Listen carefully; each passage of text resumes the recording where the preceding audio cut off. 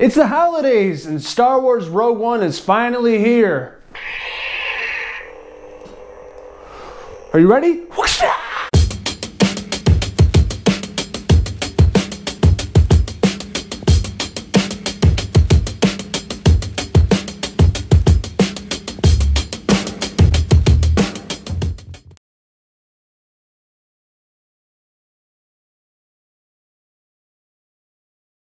Happy holidays, everyone. Logan Myerz here to talk about Gareth Edwards' brand new film in the Star Wars universe, Rogue One. So, I'm not going to lie, uh, this is the only movie I've been highly anticipating all year long. I am a huge Star Wars fan, I have been my whole life, so each year they're putting out a Star Wars film in December, and I can tell you how excited I am. I have a fucking Han Solo tattoo on my leg. That's how much of a fan I've I am and always have been. Um, you know, Rogue One is a, a standalone film in the Star Wars universe, directed by Gareth Edwards, who also directed uh, 2014's Godzilla, which was also an excellent film. So, with the first trailer being released earlier this year, you know, there's high anticipation as to what this film is going to be like, you know, and its own standalone film. And with the early trailers, you can just feel this grittiness, this dark palette that they're using with, you know, a different storyline. And you can tell that it was going to be different and darker and grungier. And Rogue One is pretty much a prequel to Episode 4, A New Hope. This takes place right before that film starts out. And this is the first Star Wars film they haven't had the opening crawl. In the beginning of the film, you'll see in a galaxy far, far away um, I couldn't even describe how excited I was. I was on the edge of my seat, uh, white knuckles, just holding on for dear life because I didn't know what I was going to be experiencing with this film. So, as we recall in A New Hope episode 4, Leia has the Death Star plans, but we got to figure out how she got these plans. And basically, this is where that movie takes place. Um, Galen Erso, played by the GQ Man of the Year, Mads Mikkelsen um, is an engineer scientist, and he's forced into making the Death Star this this weapon of mass destruction. But we'd later find out is the Death Star. And he's so smart, and he has to put together this this weapon. And he really doesn't want to. He wants to stay with his family and his little young daughter. And Galen is forced into working to get this weapon of mass destruction up and running to to take out planets. I mean, that's the whole purpose of this this weapon. And Krennic, played by Ben Mendelsohn, shows up and basically takes Galen away from his family. He has to come finish off the Death Star and make sure it's working so they can start using their powers and taking out all these planets throughout the galaxy.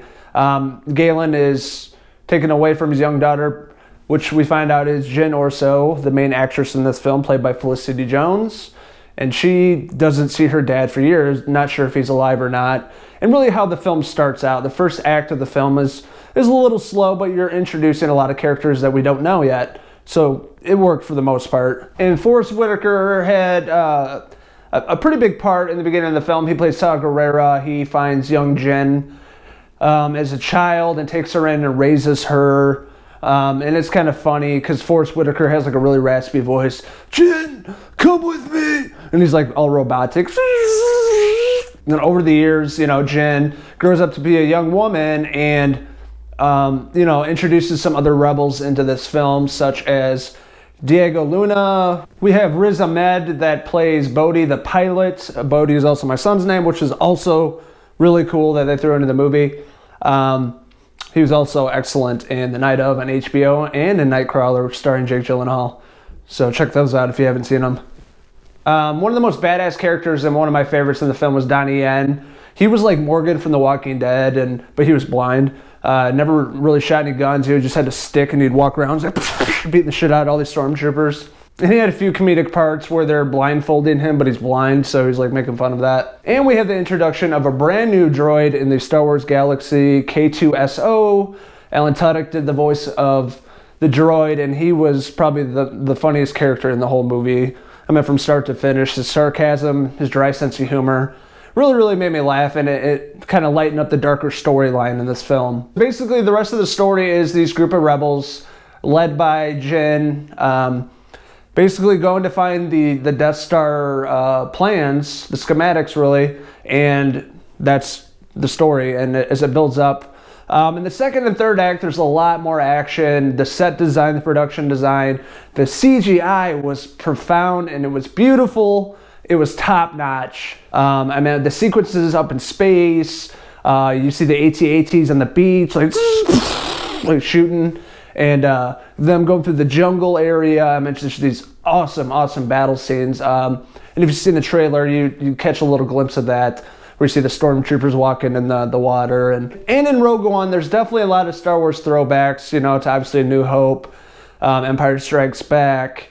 Um, and there's a few recurring characters from the original films. One, I'm not going to say, they used a lot of CGI in that character. Um, and it was one of the things that was offsetting with this film. I didn't really buy it. Um, I think they could have done better camera work instead of using the CGI character that uh, from the original films. But the most important character, one of the biggest and most popular villains of all fucking time, the one and one and only Darth Vader. so if you've been following the trailers like everybody else in the world this this past year, you know Darth Vader's in Rogue One. Um, you know, it was a big ordeal when they when they first showed him in the trailer. So we, you know, as an audience, we didn't know how big of a part he would be in this film. And I will say it wasn't major. It was in a few parts, but those parts really made a difference and showcased the, the best and most badass villain of our time. You know, in the Empire, you know, the, the chain of command, it's one commander to the next, to the next, to Vader. And Ben Mendelsohn was pretty convincing as Krennic. He was like lower on the totem pole and he was in charge of this whole Death Star build. Um, you know, for the most part, I liked his character, but I think he was a little underutilized. They just made him kind of out to be a bitch and just like yelling, like, shoot, you know, kill him.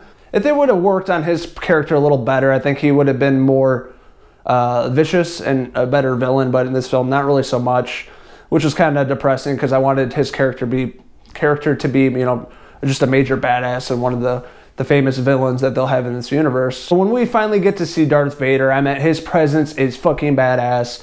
We, you know, he's a character that we know from uh, episode four, five, and six. You know, he's just getting started, but he has these fucking badass powers.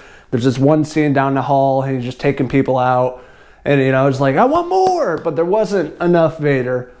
So they kind of just give you a little sip of it, a little taste, but that's about it. And, you know, with the overall fight sequences that were leading up to the final act, you know, the rebels trying to get the, the, Death Star plans, you know, you can guess as to what happens if it leads into the next movie, which we all know ha- what happens with that. In the ending of the film, you can guess if Jyn and her group of rebels beat all the stormtroopers and, and get what they're there for, and that's the Death Star plans. And Rogue One surpassed my expectations. It was a fucking excellent film from start to finish. Beautifully scored film by Michael Giacchino. I meant the CGI was probably the best of any movies in a long time, this past year at least. And with the introduction of all these characters in the film, you really start to like them. There's one um, character, Jyn, that they really focus on. The other characters they don't say much about, they just introduce them, which was something I didn't really care for. I wish they would have, you know, use more of the character development and stories with the other rebels. You know, Gareth Edwards is a huge Star Wars fan, and it really shows in this film. He did his extra work to make this this is a masterpiece. I think this is going to be film we're going to be looking back at 15 years from now and saying like, wow, that's a really, really excellent film. What did you guys think of Rogue One? Did you see it this weekend? Were you one of the billions out there in the movie theaters to a packed movie theater to see Star Wars, to feel your inner child and inner nerd? Let us know in the comments below. And if uh, what else are you looking forward to in the Star Wars universe? Are you looking forward to Episode Eight? The new Han Solo standalone film coming out in a few years. I know I'm excited for that. I am giving Rogue One a four and a half hair pieces out of five. No! And I just want to say thank you to everybody that keeps following us on our social media pages and our YouTube channel right here. We're going to keep doing what we love, talk about movies and TV and interviewing writers, directors, and all that stuff. And we have a brand new podcast coming out in the coming weeks and a brand new website. So stay tuned for all of that. This is Logan Meyer signing out from Cinephellas. I'll see you next time. Cheese!